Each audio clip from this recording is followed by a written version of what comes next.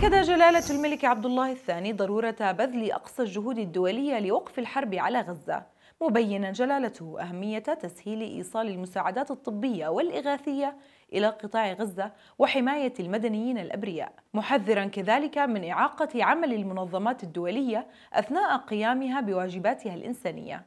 وكان جلالة الملك قد وجه بإرسال مساعدات إنسانية وطبية عاجلة للأشقاء الفلسطينيين في قطاع غزة عن طريق معبر رفح. كما وجه جلالته بتحديد الاحتياجات المطلوبة للأشقاء الفلسطينيين في الضفة الغربية وتوفيرها بالسرعة الممكنة. وتنفيذا لتوجيهات جلالته سيرت الهيئة الخيرية الأردنية الهاشمية مساعدات طبية وإغاثية لدعم الأشقاء في غزة.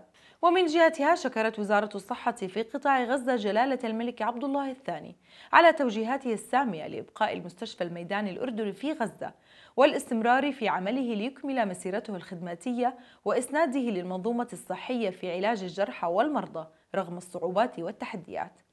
كما أعربت وكالة الأمم المتحدة للإغاثة وتشغيل اللاجئين الأونروا عن شكرها الكبير للأردن الذي كان أول من قدم مساعدات للوكالة تمكنها من العمل على مواجهة الأزمة الكارثية في القطاع. وتنفيذا للتوجيهات الملكية فقد خصصت الحكومة الأردنية مبلغ ثلاثة ملايين دينار لتحويلها إلى الأونروا فورا.